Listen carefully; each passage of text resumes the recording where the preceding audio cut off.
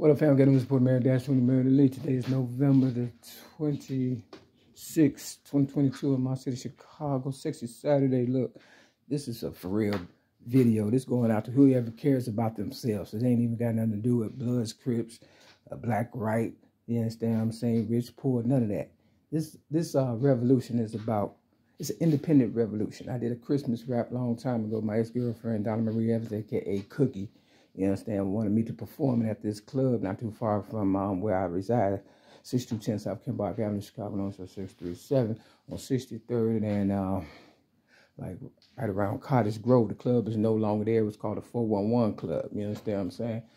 And um, I tried to do a Christmas rap, and I had the Christmas, you know, Santa Claus uniform on or whatever and stuff. Uh, and you know, I forgot my own words because she was rushing me. I never got a, chance to really remember. You understand what I'm saying? But I did it. I did another version or whatever. But um, yeah, it started off, you know, um, tis the season to be jolly. First, I like to say what's up to everybody, and then after that, it kind of went blank. But I did a, another version. I'll probably put in the description of this one. You understand what I'm saying? But then you got this this movie out called.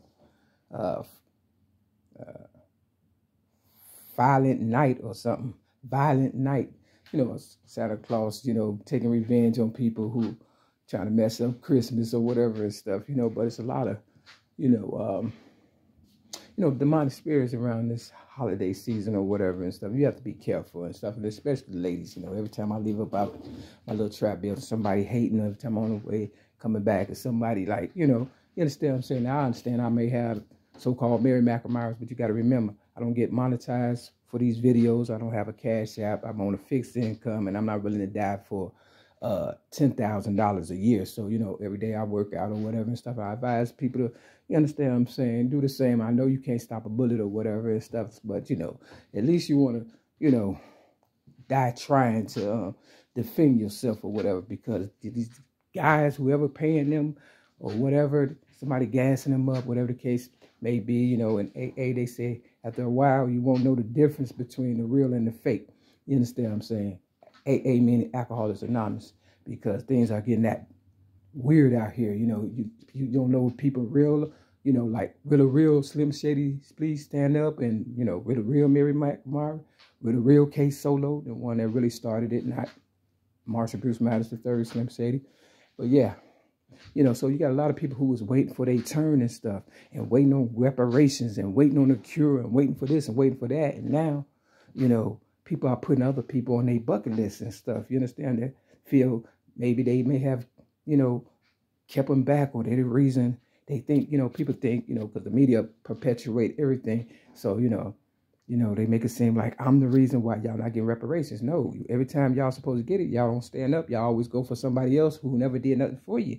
And I've been in your face all, all along and stuff. Been doing this ever since I was, you know, six years old, 1973, standing up for myself and against, you know, people who like violating children and babies and, you know, ladies that, you know, make the babies, like Tupac said. They will hate the ladies that make the babies. And that's the truth because most guys don't want the responsibility. They want the uh, perks that come with it, like, you know, you know, the hardest job a person could have, you know, is being a mother and stuff. Now imagine a person like myself trying to um, glue all the pieces together, allow the uh, dream to come true with Martin Luther King, bring everybody together, you know, on my Malcolm X by any means necessary, then trying to raise me and raise the consciousness of people who wasn't conscious and stuff. And then you got drug addicts and whoremongers and murderers trying to keep them off your ass and shit like that. And then you're surrounded by them and you try to tell them, look, I walked that same walk before, you know, I could have been you 10 times, you know, over or whatever and stuff. But if it wasn't for me, you wouldn't still be alive to get high, drink, drugs, smoke, fornicate, or live your best life. You understand what I'm saying? I have yet to live my best life, and I'm not going to be going for the bark and this, that, and the third. Now, there's a guy by the name of uh, Charleston, um, whatever his name is. See, I can't even think of it because you know I don't, I don't think like them. But you know, I don't want to, you know, give him that must, you know, I'm saying whatever. But he's out there doing his, doing the most or whatever. I will say Kevin Gates because he's really got a bigger platform and stuff. And I listened to both of them at one time. I thought, you know, they had a little common sense. You understand what I'm saying? I, I thought they had maybe a little common sense, but you know, they don't. You understand what I'm saying? They doing the most and stuff. Kevin Gates doing his shows. You know, y'all talk about the Illuminati and Jay Z um, throwing up, you know, pyramid and all that. You know, you know, but now they just outright, you know, doing the most on stage. Kevin Gates talking about, you know, I'll put in the description and you understand what I'm saying? Y'all seen it, y'all heard it. And then this this Charleston Charleston guy or whatever going in talking about, you know, Chicago can whoop out the band pulling out guns. Now look, I might be from Chicago. Okay, I am, but I'm a little bit of this, a little bit of that, and the rest came from people like you. So wherever, you know, I am right now in Chicago, you know, my people is where you at, is uh in Africa, everywhere and shit. You understand what I'm saying? We have to stop thinking you know, so low vibration and stuff because they said after a while they'll be raping your babies in front of you. So we're going backwards. They already talking about rape, this, that, and the third and stuff. You understand what I'm saying? And you know, they pulling out guns and stuff because they don't like independent, strong ladies and stuff. I'm saying you got one shot to hit me, and that's right here in the head and stuff for real. So you know, unless y'all gonna walk around with all motherfucking goddamn bulletproof armor on and shit, you understand what I'm saying? no one's exempt from dying. That's why I'm trying to keep a cool tone, mild, you know, manner about myself to let you know, you know, don't let them drugs and alcohol amp you up thinking you Superman and, you know, Speedy Gonzalez and, you know I'm saying, a speed demon. Because, you know, if it's getting like that, you know, they need to round them up now. Maybe they need to bring in martial law because it's obvious the mayor can't do anything. The police is not helping the situation. And it seems like everybody drinking drugs and smoking and fornicating, wondering, you know, what I'm doing and stuff. And I'm just, you know, being me, trying to stay away from BS and stuff and trying to guide the ones that got a problem into having a better solution about themselves. You know, now I know everybody not a Mary McNamara. I know everybody not a hater and stuff. And if you get a better understanding of what I'm doing, then that's trying to save us both, regardless of what you are, who you are, whose you are. You understand what I'm saying? Because one person can fuck it up and one person can save it. And you don't know who that person is. And what if it is me? You understand what I'm saying? To fuck it up or save it and shit. Now, I knew y'all was going to mess up the whole goddamn city, try to get back at me or whatever because of that Obama drama that, you know, y'all thought, you know, was going to liberate you and stuff with gay rights. And then nothing would give you coronavirus and, uh, you know, diseases and drugs and stuff like that. See, when, when I was up, everybody was making money. Everybody's not making money any longer. I can't even do what I want to do and stuff because everybody looking at me like, you know what I'm saying? You know, you can't come up, you know, because we up. That's what they think. But what, what, what, they don't realize is you wouldn't be up if it wasn't for me. And if I die, they're going to take you all the way back. So you can believe what you want to do. You know me. I break these balls and stuff. You understand what I'm saying? And I'm not going to keep going back and forth because I got my life to live. I put myself on my bucket list. And guess who on there too? You motherfuckers and shit. So I'm not going by myself. I flipped that Bible and stuff. So this is not going out to anybody in particular. Let motherfucking goddamn Charles, whatever his name is, Charleston, you know what I'm saying? Let him do him. He said he been to Chicago. Okay, nobody mess with him. Good. You understand what I'm saying? Ain't nobody, ain't nobody trying to mess with you. You just trying to get money and build up your, you know, reputation, cool. Ain't no everybody trying to, you know, come up and shit. This is the chance for everybody to be themselves, which means if that's who he is, that's who he is. Let him do him and stuff. And, you know, something good or bad happen, to him, that ain't on you. That's on him. You understand what I'm saying? So we need people to come up out and act like who they are so we'll know who is who and who ain't. You understand? Y'all know who I am. I'm about my money. But if, since I can't get none, you understand what I'm saying? The way I used to and stuff, you know, I, I got to be about my business of, you know, keep my eyes on you motherfuckers and shit. I'm the babysitter now. I was the back catcher. You know, now I'm the babysitter. All right, here we go. Check it out. Since we ain't got nothing but a bunch of king babies and stuff, you know, everybody acting like children. You know what I'm saying? Got grown men not protecting the home front. You understand what I'm saying? Got the women scared to death and the babies pissing in their beds and shit. All right, got the white people happy as hell.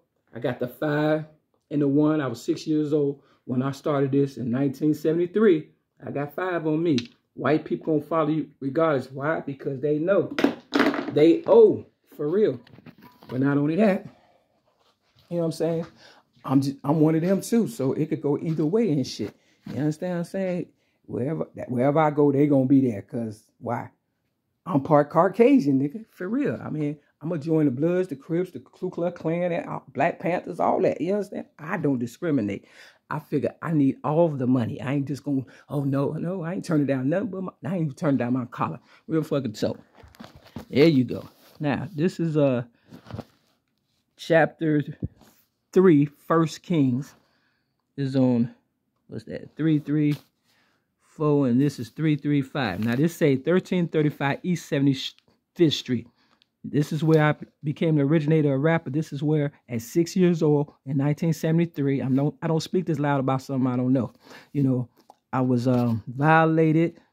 You know, understand I'm saying before I went there and while I was there. You understand what I'm saying? Real talk. You see, I put the one right here, 1335 East 75th Street. I said, this says a real mother's love. Only a real mother would do this. You understand I'm saying? As far as what I'm doing, trying to save you and stuff.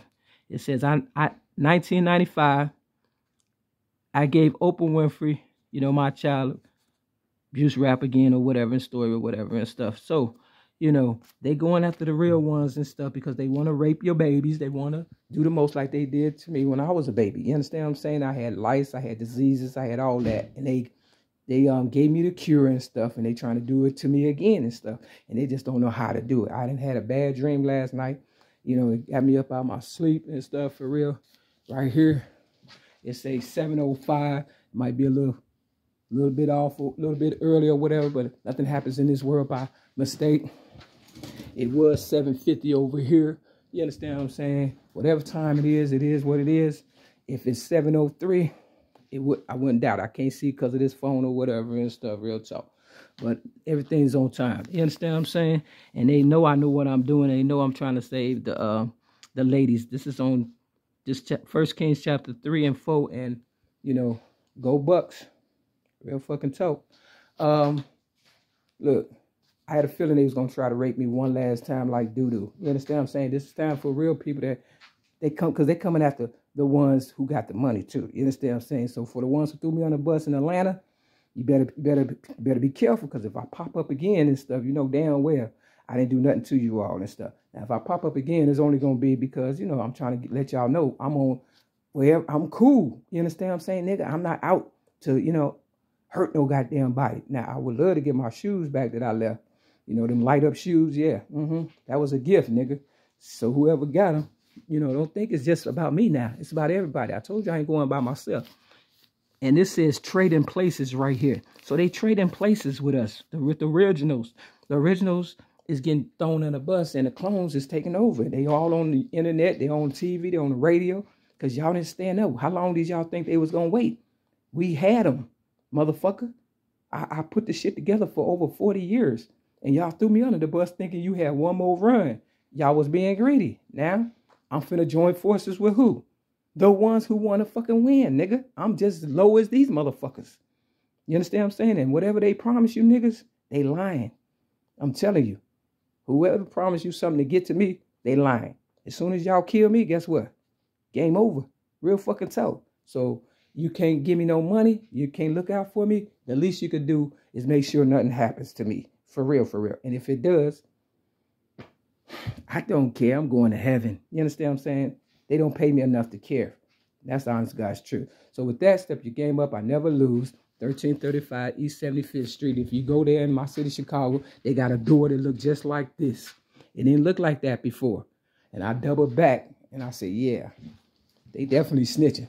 Peace.